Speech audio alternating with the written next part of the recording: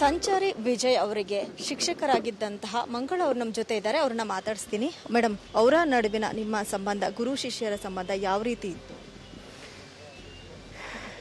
ನಾನೀಗ ಅದನ್ನೆಲ್ಲ ಮಾತಾಡೋ ಸಮಯದಲ್ಲಿ ಇಲ್ಲ.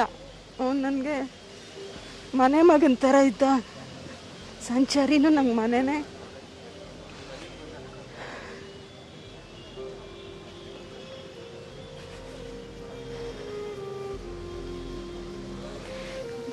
ಹನ್ನೆರಡು ವರ್ಷದಿಂದ ನನ್ನ ತಂಡದ ಜೊತೆ ಕೆಲಸ ಮಾಡ್ತಿದ್ದ.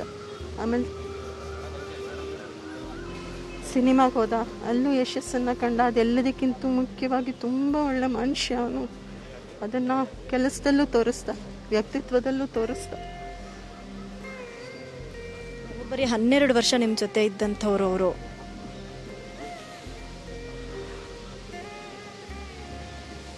ಬರೋಬ್ಬರಿ ಹನ್ನೆರಡು ವರ್ಷಗಳ ಕಾಲ ಮಂಗಳ ಅವರ ಒಂದು ಗ್ರೌಂಡ್ನಲ್ಲೇ ಅವರ ಒಂದು ಅಂಗಳದಲ್ಲೇ ಕಲಿತಂತಹ ಸಂಚಾರಿ ವಿಜಯ್. ಇವತ್ತು ಅವರ ಅಗಲಿಕೆ ಎಲ್ಲರಿಗೂ ತುಂಬಲಾರದ ನಷ್ಟವನ್ನು ಉಂಟು ಮಾಡಿದೆ. ಕೇವಲ ಸಂಚಾರಿ ಕ್ಷೇತ್ರಕ್ಕೆ ಅಷ್ಟೇ ಅಲ್ಲ, ಇಡೀ ರಂಗಾಯಣ ಆಗಿರ್ಬೋದು, ಜೊತೆಗೆ ಸಿನಿಮಾ ಕ್ಷೇತ್ರಕ್ಕೂ ಕೂಡ ಅವರ ನಷ್ಟ ಅಪಾರವಾದದ್ದು. ನನ್ನ ಅವರ ನಡುವಿನ ಸಂಬಂಧ ತುಂಬ ಅನ್ಯೋನ್ಯವಾಗಿತ್ತು ಅನ್ನುವಂಥ ಮಾತನ್ನು ಕೂಡ ಹೇಳ್ತಾ ಇದ್ದಾರೆ. ಕ್ಯಾಮ್ರಾಮನ್ ರಘು ಜೊತೆ ಶ್ರುತಿ ಟಿವಿ ನೈನ್ ಬೆಂಗಳೂರು.